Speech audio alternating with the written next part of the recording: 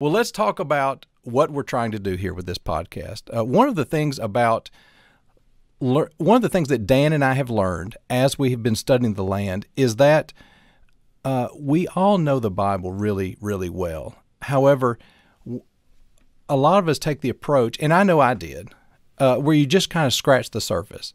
And what we're trying to do here is dig deeper. There's some little nuances to the text and things like that that you can learn about the land that if you understand those things, it helps you to understand the stories even more. And so that's exactly what Dan and I want to do with this podcast. We want to delve into different areas to help you have a better understanding of a lot of the narrative that's in the Bible.